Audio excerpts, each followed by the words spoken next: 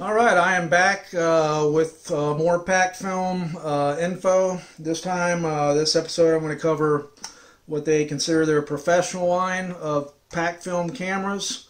Uh, their automatic line, which they made starting in '63, everything was as it sounds automatic. Uh, pretty much, you just cocked the shutter, hit the button, and had a little eye that would figure out the exposure. But professional photographers want to be able to control the aperture and the uh, shutter speed just like they did on their 35 millimeter and medium format cameras. So Polaroid came out with the Model 180. It was, let's see, I think it was 65. Yeah. This particular one I have in front of you is the 195. Uh, the 180s in this case, which I'll get to in a second. Uh, the the 180 was made 65 to 69 and it cost like $190, which is like something like over $1,500 in today's money. So it was a costly camera, uh, but you got just total craftsmanship throughout. Uh, and the 195, they didn't start making this guy till 74. Uh, 74 to 76, so it is a lot newer. Uh, usually, when you find these, maybe they'll be in a a bit better shape just because they're usually almost a decade uh, newer. Uh, the main difference, the really, uh, well, there are a couple differences, but the main difference, the 195 uh, is going to have a f3.8 lens. This is a uh, Tamron. Uh, it's a badass lens, glass lens, a 3.8 f-stop. The 180 at f4.5, and that's not a huge difference. But I mean, a lot of people they want the biggest f-stop they can get, so you get uh, more lighting, obviously, but you also get a greater depth of field. Uh, and the 195, uh, the other difference was the 180 came with the typical Zeiss uh, viewfinder, which is uh, you know just you look through one window and it composes all together inside. The when the 195 came out, they went back to the uh, two-window Polaroid made viewfinder, which has the two separate focus and then compose. Uh, you know, I don't know if they didn't have enough of the Zeiss, why they did it, but a lot of people swap these out. It, it's real easy to swap these out. Uh, it's a little pin, and then you just exchange it. So that's what I did. I swapped mine out. But uh, other than that, that's generally the only difference. They, I believe they both have. I don't know if the 180 has the timer. I'll check and see when I pull it out.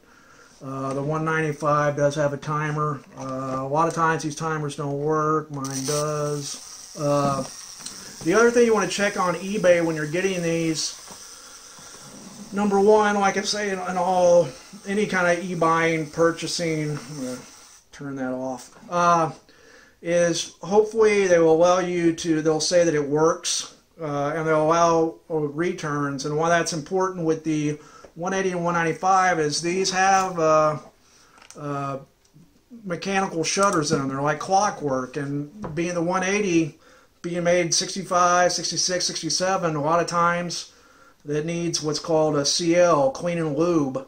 So uh, if they say it works through all the shutter speeds, uh, that's a good thing. Or if you return, if you get it and you go to take a picture, and a lot of times you'll put it on like half a second. I don't want to do it on this because I have film, but uh, if you put it on like half a second, go to take a shot, and then it will uh, it'll get stuck. Here I have the I have another 180 down here. It doesn't have any film in it. So I can show you what I mean. We'll put this on like uh, half a second. You can hear how it sounds a lot like clockwork when you hit the shutter. That's a half a second. There's a full second. I actually had on bold that time. There's a full second.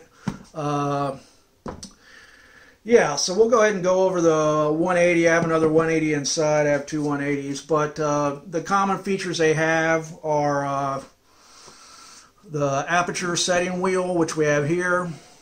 Uh, this goes from the 4.5 all the way to 90, and 90 is just crazy. But again, they were they were making these to shoot 3,000 speed films. So again, they even included a ND filter, four stop ND filter. Uh, and the shutter goes from 1 500th all the way to bulb. Uh, there is an EV scale on the 180, and what this does is, like right now, it says if I have it on uh, 4, 5, and uh, 250, it has a EV scale of 12. Well, you can change the aperture and speed wheel, and then you just match it until it says 12 again, and you're getting the same shot, but at a different aperture and a different speed. You can do all that in your head, but this is just an easy way. Of course, this doesn't have a uh, film speed setting because you're doing all the settings yourself. I use a, a light meter. Uh, it's good to have one. A lot of people just use their phone light meters. Uh, let's see. Oh, and the one of the main things is the well, not main, but other differences they'll have instead of the little on the uh, Polaroid Auto cameras, they always had like a little figure and a mountain. On here, they actually have the feet scale. You will see on eBay sometimes it'll be a 180 or 195 front element here, but then the body will have those stickers from the automatic. And what's happened is someone's Frankenstein the camera. They've like some the maybe the back housing was all rusty or whatever, so they will uh, swap them out. So if you want one that's you know how it was made at the factory, you don't have to worry about it being switched out. That's one thing to look for. That's a dead giveaway. Is the meter scale, uh, feet scale actually. And since these don't have batteries, uh, the, the little compartments, of course, are empty. There's no need for battery on these cameras. Uh, it does have a PC sync, uh, and uh, since it's a leaf shutter, I believe they call it, it can sync at any of the speeds. 500, 250, it's no big deal. You can set it on X is for electronic flash. Uh, M is if you're using the bulb flash. They make this real funky uh, bulb flash, which adjusts for your distance, which I'll get uh, show you in a minute. Uh, and a timer. And a lot, and again, a lot of times you'll get these cameras off eBay, and the self timer won't work, which you know isn't a deal breaker because they do make a little contraption that goes on here that there's all over eBay that is a little timer and it hits. But I mean, it, it's good. I like every I like cameras where everything works. So show you how that works. Hopefully it'll, if you can hear that, it's going. They say in the book that it's usually around 10 seconds. And uh, it actually is set for uh, X, I believe. So they tell you in the instructions that if you're using the bulb, you want it like, a, I think at 130th or 160th, just so it'll gives it time to sync properly. Uh, yeah. And let's see. Uh, let's go ahead and go with what all was in this 180 kit. Uh, yeah, and again, see the 180 doesn't have a timer. I didn't think it did. The 195 does have a timer. I think they made a they made a 190. I think that has electronic, and I so I went over my other video. You don't see a lot of them anyway. I mean, they're pretty rare to pop up, but the electronic timers kind of give you fits on uh, with the packed film. Uh, just because they're tight. Anyway, for the 180, they made a kit uh, that had all the accessories. The suitcase is made just for the 180. Let's see if you can see all that. I'm going to take a peek. You can. Cool. All right. So in here we have every option they made with the 180. Uh, so you've got a place where you can keep your film. Everything is conveniently labeled in case you forget. Uh, here is the um, so if you're taking a time exposure, you can use the plunger. Uh, and again, these will pop up separately, but it's good to add this in the kit. A little place your business card. But let's get to the uh, meat and potatoes. Okay, it came with uh, three different kits, as they call them. A couple of them are the same as I covered on the the uh, auto Polaroid's a portrait and close-up kit, but it also has an additional what they call uh, they just label it generic filter kit. Basically, it's uh, uh, to keep from flares. It's like a sun filter. It's made out of metal, built to last. it's in there tight. Uh, yeah, they, everything on Polaroid has a number. This is the number 598. Uh, but it has that guy in there so you can screw that on and in addition uh, before you even put that on I use can get that back in there it's tight I use the UV filter, which give. This hadn't even been used yet. I have a couple of these kits, so I haven't actually used this one. Uh, I use my other one. It's got a UV filter, which you always have on there on the sun, and it actually has a uh, a cloud filter. This is for black and white, which normally you would think, well, I don't need that, but again, you can get it costs you a pretty penny, but you can get 3,000 speed still for uh, Fuji shoot black and white. But usually I always have those on when I'm outside just because I don't want to worry about the... Here in Texas we get a lot of sun, so I don't know if I can snap it. There we go. Okay, then we have the portrait kit and close-up kit. These are a lot like the ones I covered in the automatic uh, video I did generally they're the same. They'll even have like if you get the if you get the 195, it has the two windows, and if you already have the uh, two window goggles for the 100, they're interchangeable. The goggles are, or for the 180, these are the for the Zeiss single uh, single window uh, uh, viewfinder, and you will find these also for the auto Zeiss that are just the goggles are the same, but they have the the ones for the automatic always have the little click on, uh, get that back in there correctly. I'll do that in a second. They have to click on uh, lenses to where, of course, on the 180 and 195, it's a much bigger lens. So uh, these screw on, it's 45 millimeters fine, which is a, an unusual. The 45 millimeters isn't all that unusual, but the fine threads is, you just can't go get these anywhere. Uh, you can use what's called a step-up filter. I'll cover that in a second because these kits are really hard to find. There, I'll get this right sooner or later. Uh, I mean, generally they only came with like if you bought this whole kit, so they're they're pricey. If you don't get it with the whole kit, uh, the close-up again is just like the other one. It's got the goggle and the close-up lens. Both these have the uh, 4S stop. That is again for the three speed. Uh, if you don't have these kits, you can get from either, I'll put a link, but you can either get from B&H or a site called Wing Camera makes a step filter from 45 to 49. It has fine on the 45, which is what you need. And then on 49, then you can just get a standard.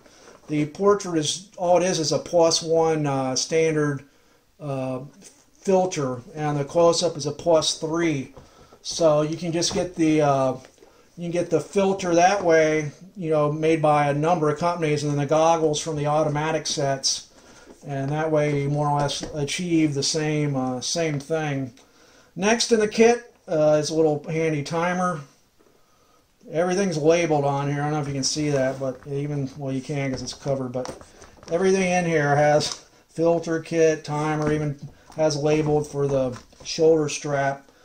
This timer, again, you don't really need this anymore because the Fuji, uh, if I can get it open, press. Come on, Jerry. There we go. The Fuji stops automatically. I guess you might need it if you get the Kickstarter film, which Doc from Impossible Project and Supersense are uh, starting. I'll put a link for that as well. But uh, yeah, this is just your typical two minute timer because again the 180 didn't have it on the back like the 195 does it's got a little stop button there uh, you can it's got so you can put on your strap it's got those holes there next up we have a uh, light meter this actually goes on to the on the 180 you'll see what looks like a flash socket and it's not really because if you try and put a flash on there, you notice it'll short out because it's metal. You can put a piece of tape over that to keep it from doing that. Uh, but this is really what that was made for. This is a light meter, uh, and they use these crazy mercury batteries, uh, which you can still get. They kind of they run out. Uh, they're activated by air, but there is also a uh, conversion which will allow you to use regular batteries with this. Again, this is just something nice to have just if you want a complete kit. Obviously, there are plenty of modern light meters you can use. Uh, and it has a shoulder strap in here for this is for this actual case. Again, that is labeled. And one of the funky things I want to get to is this flash. uh, we will pull the camera out of here and we can get all to this. Uh, this is called the 280 flash gun. Uh, the in my other video I showed the 268 which I guess, well, you can't really use it for this camera because that 268 has a kind of funky port that's just for the automatics, so you can't actually use that. One thing also to look for when you get the 180 or 195 online is these, it's good that they have the original uh, case for it. Uh, plop this guy open. If I can. There we go. Always that problem on camera. So, uh, what this does, just before I put it on, you may be wondering what the hell is this thing. What they did was they uh, came up with a way to adjust the output by how you're focused. So as you move the focusing bellows in and out, this guy will move the light bulb in and out and adjust the uh, the output, which is kind of genius. it's like Polaroid just their engineering and know-how is just crazy. Uh, and it's even got this little weird-looking flying saucer thing on it. So it uh, has already covered the 180 and 195. Both have a standard PC port, which is here. This guy on top doesn't do anything. Uh, unlike the 180, it had a little metal contact that I guess did sync or something. This is just to steady this guy, so it tells you to kind of press in and then you there it is Bob's your uncle. Uh, and that's it. And as you see if you can see as you focus in and out you can see that the uh, it does the same. The batteries are actually in in this guy here. It takes two double uh, two triple A's. And a lot of time it's all corroded. You know if you find one of these it's good again like anything else to make sure it works before you buy it instead of the whole guy saying, I don't know if it works. It uses, uh, I think it's called 1B. Well, it's these guys I have up here. AG1B bulbs. And just like the other flash, when you're done, I can go ahead and hit this. It's got this button engaged here. You'll hit it. Spits, this will be like red hot. And, uh, and as I mentioned before, the timer, or not the timer, the uh, gauge can go right up here. Uh, and again, that's metal. So if you want to use a, a modern flash, you just got to either put on another hot shoe on here or put tape over this because this will short your flash out. You're wondering why it's not working. It's because it's metal on metal. Uh, I don't have my battery in here right now. I take it out, but yeah, that just goes on right like that. Whoever had this camera before, move the strap. Normally it's there. Uh, they moved to the side, which makes sense because usually that's what hit it. I thought at first maybe that's not plugged in all the way. There we go. It doesn't normally move around. That's why they have that guide. Uh, but yeah, they I think they moved it just because it was bugging them. I think that is about it. I mean, these are awesome cameras. Uh, get the one the doesn't have the film in it.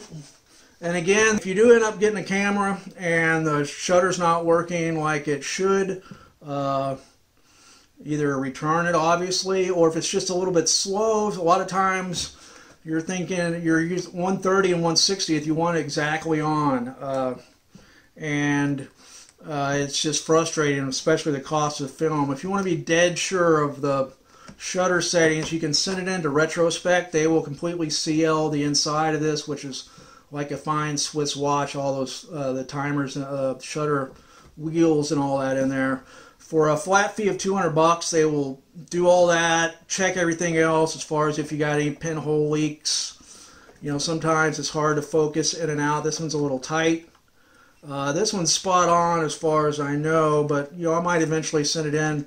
What they do is just like a, CK Grimes does for Copals, they will send you a test sheet which shows exactly what each one of these from one second to 500 exactly what it actually is after they adjust everything in milliseconds.